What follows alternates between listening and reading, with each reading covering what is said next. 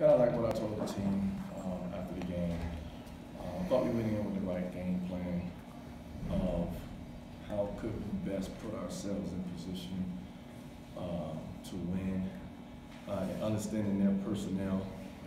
Um, you know, we tried to take Merrill uh, out uh, in a sense. I thought we did a really good job in the first half. I thought AJ was great guarding um, really holding him to four outside of that late three. Um, thought that was effective. Um, playing with a slow pace, uh, obviously having a lead within the first half. Um, thought TJ um, uh, grew a little bit tonight as well, especially with the way teams have been playing uh, him uh, and AJ.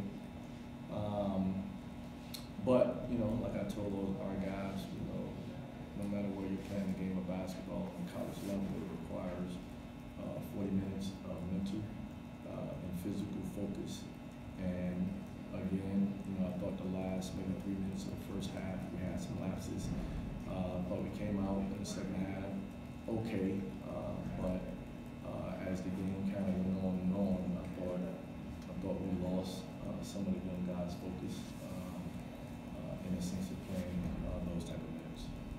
was a lot similar to the last home game, where to the last minute of the first half, you really see the game, have the game. Say that one more time. Similar to the last time you played at home. Um, but yeah, I mean, again, I, I thought they came out with the right energy, effort, and followed the game plan uh, to the best of his ability. Uh, like I said, I thought AJ did a great job. I thought we helped off the guys we needed to help off of. Uh, some of the guys that we were willing with, willing to allow three point shots, we thought they felt for the bait. Um, um, we took care of the basketball in the first half. I think we only had three turnovers in the first half. Um, but I thought it was a three minute span uh, within that first half to where uh, they were allowed to do some things and then the shot that Earl made at half. Um, again, just like I told him, just that uh, mental mistake of just relaxing can hurt you uh, that quickly because JJ just made a shot uh, and they got it out quick and we were thinking that oh, it was already halftime and the kid made a long shot. You mentioned the turnovers. I mean, You cut those down way, way down, and you hold hold them to I think like eight points lower than their season average. And JJ's got his best shooting performance in a month, scores 27, but you only score 55.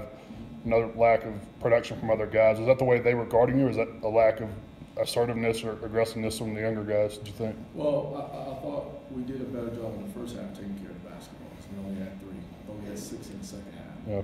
Um, the same time, I thought, I, I, didn't, I didn't think it was more so what they did. I thought they tried to make an adjustment by taking the big kid off of TJ because we were allowing TJ, well, I wouldn't say allow, encourage TJ to be willing and ready to take that shot.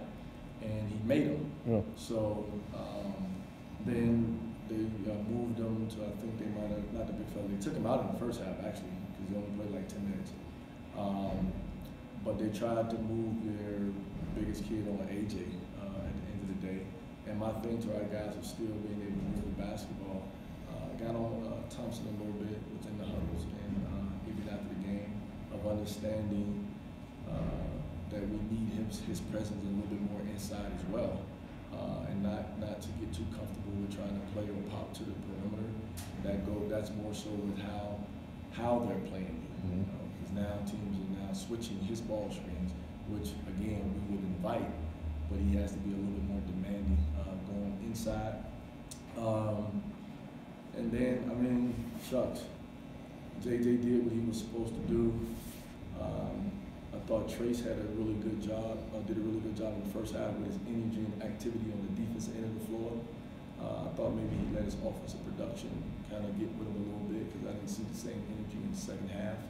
Um, but I mean, still at the end of the day, you know, I told our guys we, we, we have to be ready for battles. Like we're not winning by 20 points. Mhm. You know, we have to be ready to fight and win by single digits. And sometimes that's you know five points, three points, one point. We got to be ready for those type of fights. Uh, but at the same time, understanding no different than us having an eight-point lead. When teams um, get leads on us, that doesn't mean shucks, you know, we still have to be ready to fight. And, and like I said earlier, it has to be 40 minutes of focus uh, mentally and physically. Did- You know, did they do anything with Merrill to get him going in, in the second half? Again, after you said, other than that long three of the, was you did a pretty good job. Did they do anything different or other Uh, than? the lack of- no, I, I, I thought, I thought, I thought they still ran their action. Um, I thought, you know, obviously AJ cramping up, you know, had to come out of the game. And our, our other option at that point was, or what we practiced was putting Hayes on him and making Hayes be the guy that chases him around like that. But then he, um, then we had to go zone a little bit because bodies. Um, when we had Thompson and not in the game at the same time, felt like we had to go a little bit more zone. But I think he's a very good basketball player. I didn't think um, the way we played him frustrated him. Thought they still continued to move the basketball. And I mean, I can't remember, but I, I would say probably most of them, of the points probably came within the last ten minutes. Uh, I wouldn't say it was in the first ten, um, but I thought we did a great job overall guarding. I just thought we, we kind of hit a wall, I wouldn't say hit a wall. I thought AJ, um, uh, not being in there on him, uh, was effective. And I thought he was a little more aggressive coming off screens and trying to attack Thompson going downhill. I thought he had a, a few of those and, and allowed him, uh, to get to the free throw line. Uh, But, but outside of that, I mean, if you really look at the overall, I thought we did a good job. I know he still ended up at twenty-two, but within that, the way we played him, I thought was the right way. So was he the reason y'all played so much man tonight? Well, I I think, I think at this point in time, you know, with, with, with bodies, it's not about, that's why we play man. We just gotta look at the best way to defend our opponents. Um, and like I said to our guys, even getting ready for this game, you know, there may be times uh, throughout the season where we just tell AJ to grab one of their guys and just make it tough on them, and we play four and four. So that that to me is getting outside of the box and thinking how can you put yourself in best position to win basketball games. So we can't sit up there and say, okay, let's just play zone for the rest of the year, or we can't sit up there and say, let's play man for the rest of the year. It's more about what can we do to put ourselves in the best position to win. And I thought um, taking Merrill out, which is their best player, and then saying, let's play four and four with the other guys. Was it, you said it was cramps with AJ in the second half, so. Yeah, it was it was cramps, nothing um, nothing major, but you know I commended him on what he was able to give us. Um, really, really, really commended him because I thought he did a great job um, making it tough, and again allowing us uh, to even have a lead in the first half. A lot of that was due to what he was able to do, and like I told him, if you really look at statistically from the uh, first half, I mean they shot under forty percent from uh, two and shot under thirty percent from three you love those type of numbers. So what we were doing was being effective. So, you know, like I told them, guys, we, we just got to continue to still fight.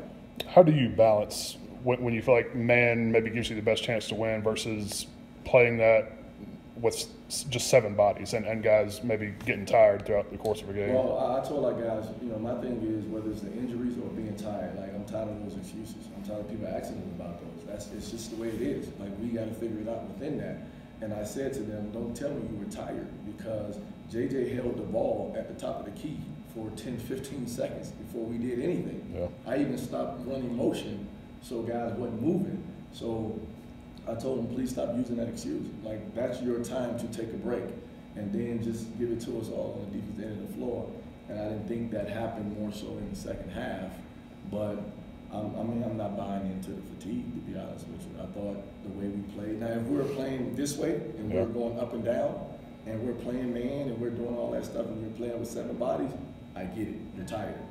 But if we're every time we rebound, we walk the ball up, and we stop running uh, our motion offense, and then JJ is holding the basketball, like that's time to take breaks right there. Like you're not moving, you're resting, but we still have to be able to get the tools for 40 minutes on the defensive end of the. Is, is this the slowest tempo that you've that you've coached at? Uh, I mean, I was here with Coach I. Yeah. So, um, I mean, I've been around it. Yeah. Um, in the sense of understanding um, the tempo. But even when I was here under Shy, and I tell people this all the time though, there's a difference between playing seven and having seven. Yeah. There's a, there- there's a big difference within that. So even under Shy, we played seven, but we had more bodies. We had more bodies.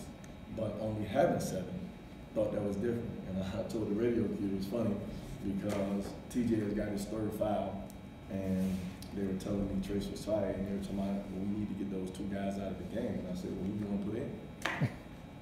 Yeah. Okay, well, they're gonna stay out there. It was that simple. You mentioned, you know, it is, you know, you got the seven guys of this, but how hard also now is it just to to practice? And not just practice, but get, but get good looks and get the looks you need from the opponents as an elite player, or even just get the work in to, and, and continue to grow young guys. I mean, how, how, no, you're not gonna make excuses for how much of a challenge is that, and what are some of the biggest challenges of that at this point? Well, you don't have ten bodies sometimes, you know, Coach K is having, to get out there and practice as well.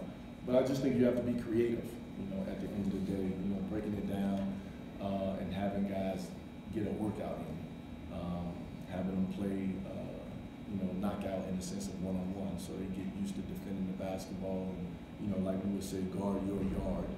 Um, and then doing breakdown drills, three on three, uh, four on four, because we have, uh, Bradley and uh, now obviously we have Hayes. So we have to do a little bit more of that. Um, and then we're trying to get to five. Um, I mean, I, am not out there like that, but I've stepped out there a few times just to add to the bodies so we can get a, a look.